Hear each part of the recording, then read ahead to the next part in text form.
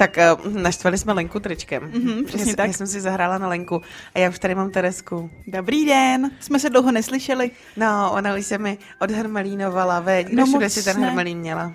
Všude, myslím, že se budu muset celá vyprat. Vyprat od hermelínu. Hmm.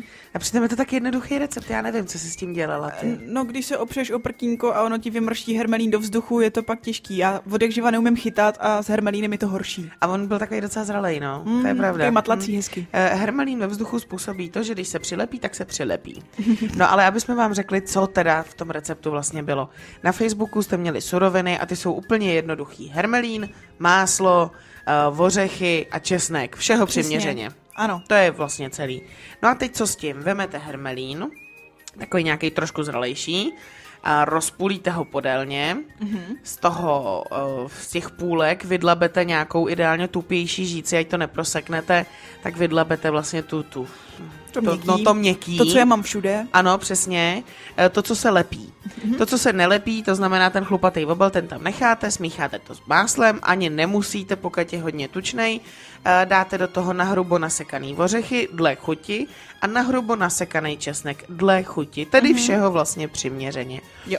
Tu směs zase zpátky narvete do toho hermelínu, trochu pod tlakem, protože ona vám to jaksi na, na, nabide Jasně. A přiklopíte ten hermelín zase zpátky. Klidně může být tam i třeba půl centimetru rozestup mezi těma dvouma půlkama, hlavně ať je tam tý, to hňoucání Hodně, hodně. hodně. No, no a pak to zase zabalíte do alobalu a necháte to tak dva dny v ledničce, když to teda vydržíte, no. Pokud jste tak šikovný jako já, tak přiměřeně hermelínu je víc než jeden. E, tak ono ten jeden hlavně sníte okamžitě už při ochutnávání, mm. takže pokud to chcete na pohoštění jako jednohubky, tak jich to chce aspoň tak deset, protože první jeden až dva zahučí jenom do vás. To mm. mám vyzkoušený. No je to dobrý, no, to je pravda. No, je to mm, mňam, mňam, mňam, mňam. A když to chcete trošku pikantnější, tak si to ještě můžete trošku posypat nahoře papričkou, jako aby se neřeklo. No a my vůbec dneska pojedeme takovýhle chuťovky, ňamky, Přesně. jednohubky, takové věci, co jsou rychlé, ale efektivní a budete za hvězdy. Takže tohle byla první vlaštovka, to si zatím všichni můžete udělat, protože je to otázka asi tak pěti minut. No a zase počkejte, za chvíli vám řekneme něco dalšího.